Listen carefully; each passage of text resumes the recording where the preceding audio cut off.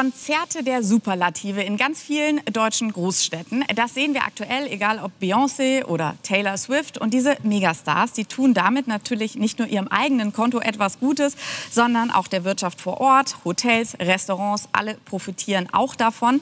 Und ähnliches gilt natürlich auch für viele Festivals in Deutschland. Allerdings spricht man jetzt in der Branche auf der einen Seite von einem großen Festivalsterben, das man beobachtet. Und auf der anderen Seite wachsen Begehrlichkeiten und Profitmöglichkeiten Möglichkeiten locken Finanzinvestoren in die deutsche Festivalbranche.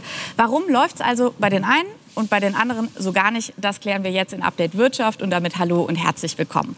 Und wir schauen uns heute auch Festivals als Umweltfaktor an, denn Nachhaltigkeit wird auch in diesem Bereich natürlich immer wichtiger. Wie kann das aber gehen? Also können Festivals nachhaltig sein und trotzdem wirtschaftlich? Klären wir heute ebenfalls, denn Festivals sind nach wie vor super beliebt in Deutschland. Wir schauen uns das einmal an anhand der Besucherzahlen aus dem vergangenen Jahr.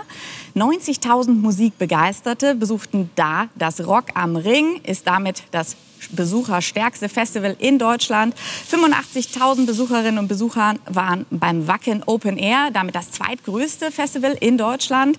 Da hatten es ja tatsächlich nicht alle hingeschafft. Wir erinnern uns, der Starkregen war schuld. Nichtsdestotrotz beliebt. Auch das Hurricane und Rock im Park mit 78 und 75.000 Besucherinnen und Besuchern im vergangenen Jahr. Das heißt, es ist ein gigantischer Markt, auf den ich jetzt mit meinem ersten Gast schaue. Und das ist Nikolas Ruth von der Hochschule für Musik und Theater in München. Schönen guten Morgen. Guten Morgen.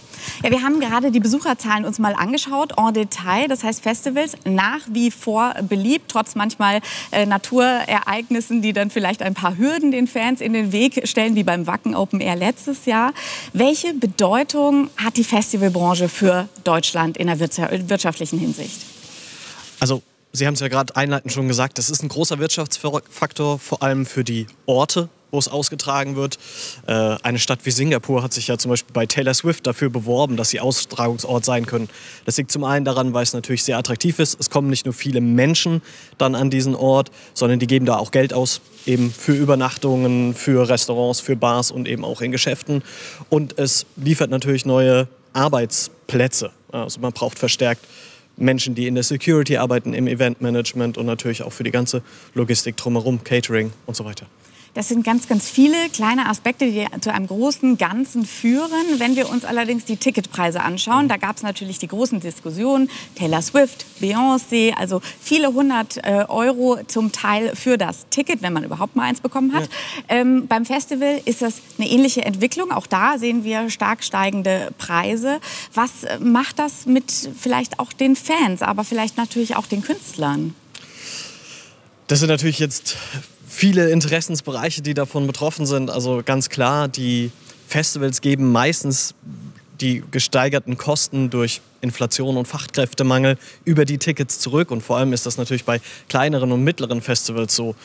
Ähm, und die haben natürlich ein größeres Problem, ihre Fangemeinschaft an sich zu binden. Die sind vielleicht noch nicht so eine starke Marke wie Rock am Ring oder Wacken, ähm, aber die sind eine wichtige, wichtige Kraft in der Musikszene, weil vor allem die ganzen Nachwuchsbands, Musiker, Musikerinnen angewiesen sind auf diese kleinen Festivals, die häufig ehrenamtlich organ organisiert sind und mit Freiwilligen durchgeführt werden und eben jungen Artists eine, eine Plattform bieten. Und wenn das wegfällt, ist natürlich sehr schade. Ich meine, gerade Frankfurt, hier die Region, hat eine super starke Landschaft mit Traffic Jam, Trebo Open Air, Carbon Open Air. Und wenn das wegfällt, ist das natürlich schwierig. Und natürlich sehen wir das auch bei den großen, bei den großen Playern, weil da ähm, nicht nur diese gesteigerten Kosten zutreffen, sondern eben auch erhöhte Gagen, weil Musiker und Musikerinnen eben immer mehr auf die Live-Branche angewiesen sind. Aber das heißt, wenn wir nochmal auf die Ticketpreise schauen, wenn jetzt eben die Fans 300 Euro vielleicht ausgeben für eine Adele, für eine Taylor Swift, für eine Beyoncé, ist dann da überhaupt noch genug Geld übrig für, für alle anderen und die Kleinen? Berechtigte Frage und das ist natürlich schwierig für einzelne Personen, wenn man schon mal 300 Euro für ein Ticket ausgegeben hat, dann noch weitere 100 Euro für das nächste Konzert auszugeben. Und das sehen auch viele Veranstalter und Interessensverbände. Ich glaube, es hat aber doch auch einen positiven Faktor, weil diese ganzen Megakonzerte werfen natürlich die ein Licht und erhöhen die Aufmerksamkeit für eben die Live-Musikbranche. Und wenn man dann eben auf so einem großen Konzert war, dann ähm, hat man vielleicht auch wieder ein Interesse, mehr auf Konzerte zu gehen, was ich sehr begrüßenswert finde. Und ja, kleinere Artists, die haben es dann natürlich trotzdem schwer mit solchen Mega-Events zu konkurrieren und müssen da vielleicht noch mal kreativ werden, um das auch im kleineren Club umzusetzen. Aber das heißt, wenn ich Sie richtig gerade verstanden habe, könnte es schon auch zum Teil eine Entwicklung geben, dass man eben durch diese Mega-Events, die dann natürlich auch Wellen in der, in der ganzen Gesellschaft irgendwie schlagen und man darüber sich unterhält und so weiter, dann eben so die Lust ganz grundsätzlich am Konzertbesuch wieder steigen kann und dann könnten vielleicht auch kleinere Künstler in der Folge profitieren? Wäre das so eine Entwicklung? Ich hoffe es doch sehr und ich glaube, wir sehen das auch. Also gerade durch Social Media kriegen wir ja sehr viel mehr Einblicke in diese Megakonzerts und Festivals, hinter die Kulissen von Menschen, die wirklich vor Ort dort sind und ähm, berichten. Und ich glaube, sehr viel mehr Menschen sind auch auf Taylor Swift Konzerte gegangen, Konzerte gegangen, die vorher vielleicht gar nicht so große Konzertgänge waren. Und die erleben dann, was das für ein tolles Event sein kann und denken sich, ach, ich könnte mal wieder mehr auf Kulturveranstaltungen gehen. Mhm. Jetzt haben wir eine Entwicklung gerade ähm, in der Festivalbranche, wo es einige Festivals gibt, die dicht machen müssen. Mhm. Ein Festival sterben, davon spricht man zum Teil mhm. zumindest in der Branche. Dann haben wir aber auf der anderen Seite eben diese Mega-Festivals, ja. die wir auch in der Grafik gesehen haben, ne? Wacken, Open Air, aber auch Rock, im, äh, Rock am Ring, Rock im Park. Wie kann das zusammengehen? Warum geht es einen so gut und den anderen so, so schlecht? Also Wacken ist natürlich ein ganz besonderes Beispiel, weil die eben eine starke Marke sind, eine treue Fangemeinschaft sind und eben auch sehr in dieser Musikszene, in der Metal-Szene etabliert sind. Die wissen genau, was die Fans wollen und gehen darauf ein. Die ähm, veranstalten dann besondere Erlebnisse, wie etwa das 20. Bühnenjubiläum der und der Band. Ich glaube, Anthrax hat jetzt irgendwie ihr 40-jähriges Jubiläum auf Wacken gefeiert. Und sowas ist eben für die Community wichtig. Übrigens, das Ticket für Wacken kostet jetzt 333 Euro im nächsten Jahr. Das ist ein stolzer Preis. Ich finde es aber ganz witzig, weil man hat dann schon die Hälfte von The Number of the Beast 666 bezahlt. ähm, das freut natürlich die Fans dann besonders. da, da zahlt man das dann vielleicht auch ähm, dafür. Ähm, und ja, das Festival Sterben, wie gesagt, es sind eben ähm, gesteigerte Preise, ähm, die, die über die Tickets zurückgegeben werden müssen. Und wenn man sich vielleicht auch als kleineres, mittleres, neues Festival noch nicht etabliert hat und auch noch nicht diese treue Fangemeinde hat, dann ist es eben auch schwieriger. Jetzt äh, sehen wir gerade bei Wacken äh, eine Entwicklung, dass das auch Begehrlichkeiten ja. in der ganzen Welt ähm, anlockt, nämlich auch von Finanzinvestoren. Das ist schon längst bekannt, dass der große US-Finanzinvestor KKR in die Festivalbranche einsteigt, eben speziell bei Wacken. Welche Bedeutung hat das?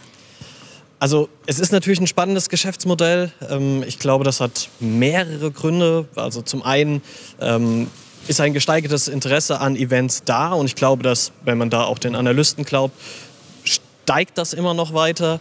Man hat eine sichere Einnahmequelle. Regelmäßig finden diese Veranstaltungen statt und quasi jährlich wird da neues Geld reingespült. Und ähm, zum anderen bietet es eben auch die Chance, dass man damit vielleicht auch ja, mehr macht. Ne? Also ich könnte mir vorstellen, Festival XY präsentiert von den Machern von Wacken. Wenn man so eine starke Marke hat, dann ist das natürlich super und, und kann da vielleicht sogar expandieren. Deswegen ist es auch attraktiv und vielleicht erleben wir dadurch auch, dass da noch mehr passiert. Und für Investoren ist es, glaube ich, auch noch interessant, weil es eben sehr viele Einnahmequellen bietet, dieses Live-Musikgeschäft. Weil es ja nicht nur auf die, sich auf die Ticketpreise beschränkt, sondern eben auch Merchandising, Sponsoring, exklusive Partnerschaften ermöglicht. Ja, und am Ende ist es natürlich ein Millionenmarkt. Da lässt sich auch einfach viel Geld mit verdienen. Ne? Ähm, ja, ich, ich hoffe, dass es das auch bleibt und ähm, dass äh, mehr Menschen weiter auf Festivals gehen und im Zweifelsfall dann doch in den sauren Apfel beißen und äh, Geld für Tickets ausgeben. Und wer weiß, vielleicht entwickelt sich das auch mal wieder anders. Und da haben wir immer wieder die aufkeimende Diskussion, gerade unter Fans, Stichwort Kommerzialisierung. Gerade bei Wacken ist es einfach sehr extrem, die Entwicklung, wenn man sich mal anschaut, woher dieses Festival kommt, wie es angefangen hat, über die Jahre, wahnsinnig beliebt und jetzt steigen eben die großen Investoren aus, äh, ein. Also inwiefern ist das denn ja, vielleicht auch aus Ihrer Perspektive berechtigt, da zu fragen, wann ist Schluss mit unseren Festivals? Aus einer Fanperspektive heraus natürlich, ne? Also man hat das ja auch in der Kommunikation erlebt, dass Wacken sehr viel Wert darauf gelegt hat, zu sagen, ja, da ist jetzt ein neuer Investor, aber es ist das alte Team, es ist das erfahrene Team, die Menschen, die hier jetzt ähm, bald seit 40 Jahren ist es jetzt, glaube ich, ähm, die Festivalgeschichte machen. Ähm, und das ist halt natürlich das, das, was zählt und bei den Fans dann auch so kommuniziert werden muss. Also eine Nähe zu den Fans muss gesucht werden. Die ganzen Fangemeinschaften müssen untersucht werden. Die, Fan, äh, die müssen unterstützt werden, die Fanclubs. Ähm, und ich glaube, dann kann man vielleicht sogar darüber hinwegsehen, weil sie machen ja dann doch eben vieles richtig und haben dann vielleicht auch das nötige Kleingeld, um die großen Headliner zu holen, um eben diese wichtigen Erlebnisse weiterhin zu schaffen. Vielleicht noch zum Schluss unseres Gesprächs ein Blick auf eine weitere Entwicklung in der gesamten Event- und Konzertbranche. Und zwar sehen wir, dass große Veranstalter und Ticketverkäufer dahingehend, dass eben sie alles aus einer Hand machen wollen. Das heißt, sie vertreiben nicht nur mehr die Tickets, sind nicht nur Veranstalter, sondern sie bauen auch eigene Konzerthallen, eigene Eventgelände. Was bedeutet das vielleicht mit Blick auf die Zukunft für die gesamte Branche? das zeigt eben, dass so große Player wie Eventim und äh, Live Nation eben an der ganzen Wertschöpfungskette partizipieren wollen. Die wollen das alles kontrollieren im Idealfall. Das hat natürlich für die ja, ganz positive Effekte und äh, deswegen wollen die das. Die haben natürlich eine gewisse ähm, Kostenkontrolle dann, eine Qualitätssicherung können die vornehmen ähm, und diese ganze vertikale Integration ist natürlich äh, für, für die super, aber für Künstler und Künstlerinnen bietet das oder befürchte ich, dass da eben eine größere Abhängigkeit entsteht, weil eben viele Artists und auch Veranstalter nicht die Möglichkeit haben, in diese großen selbstgebauten Konzerthallen reinzukommen. Sagt Nikolas Ruth. Schönen Dank für dieses Gespräch heute früh über die Festivalbranche. Ja, vielen Dank. Vielen Dank.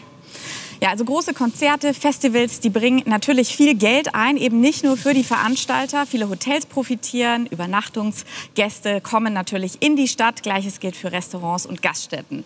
Solche Großveranstaltungen haben allerdings auch einen Preis mit Blick auf die Umwelt und das schauen wir uns mal in Bildern tatsächlich an. So sieht es nämlich häufig aus nach Sommerfestivals, zerrissene Zelte, Müllberge überall, Stühle, Grills, Dosen und eine Menge Plastik.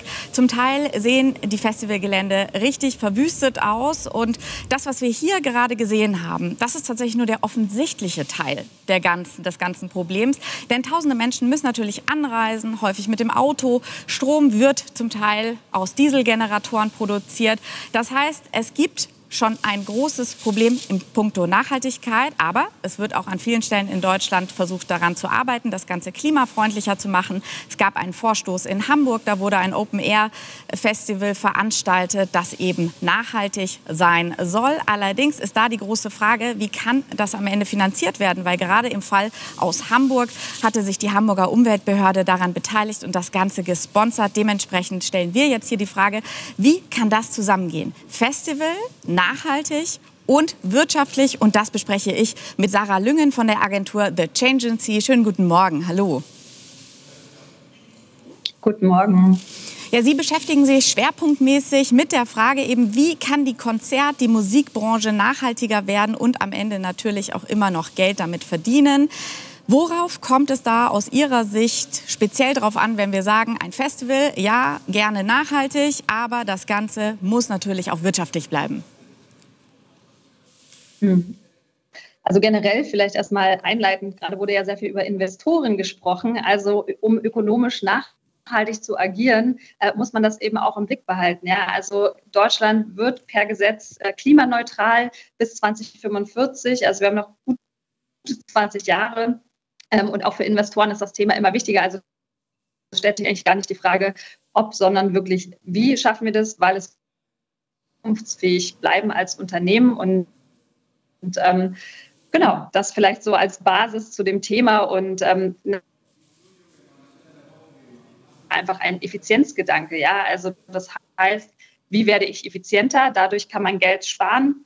Und ähm, ja, an mancher Stelle ist es eine Investition, aber hier sehe ich auch tatsächlich den Punkt, wir sind gerade in der Transformation der Wirtschaft und an mancher Stelle muss da eben der Staat vielleicht noch mit ähm, unterstützen. Aber generell ja, ist das definitiv etwas, dem man sich annehmen muss. Ich merke gerade, die Internetverbindung ist nicht die stabilste. Wir haben ein paar Verzögerungen. Entschuldigung an dieser Stelle dafür. Wir probieren es aber trotzdem äh, gleich noch mal äh, weiter. Vielleicht stabilisiert sich die ganze Sache noch im Laufe unseres Gespräches. Kurz zur Frage, wir haben äh, über Ticketpreise gerade gesprochen. Wenn mehr Nachhaltigkeit auf den Festivals äh, stattfinden soll, auf den Konzerten, bedeutet das automatisch, dass die Tickets noch teurer werden? Muss es nicht zwangsweise. Also tatsächlich ist es so, dass, dass bereits einige Festivals ähm, Kompensa Kompensationsgelder zahlen. Also das heißt, man lässt sich seinen CO2-Fußabdruck ausrechnen und kompensiert dann beispielsweise durch Bäume. Und ähm, das ist eine Sache, das Geld könnte man tatsächlich sinnvoller nutzen, indem man einfach guckt, okay, ähm, was können wir bei uns vor Ort umsetzen und in eigene Maßnahmen investieren. Oder auch, dass man sagt, vielleicht ähm, macht man den grünen Euro, also dass man weiß nicht, 50 Cent, 1 Euro pro Ticket nimmt und dieses Geld für interne Zwecke verwendet. Also wenn auch gerade man sieht, Rock am Ring hat 90.000 Besuchende, ähm, wenn man da 50 Cent pro Ticket nimmt, was jetzt für den ähm, ja, Käufer, die Käuferin nicht so ein Riesenunterschied ist, kann das super genutzt werden, um tatsächlich auch Maßnahmen umzusetzen, weil ganz klar ist, wenn Nachhaltigkeit im Budget nicht eingeplant wird, dann ist dafür auch kein Geld da. Und das ist das Einmaleins der Budgetierung. Und da fängt es eben an, dass man ja das einfach schon im Budget mitdenkt, das Thema.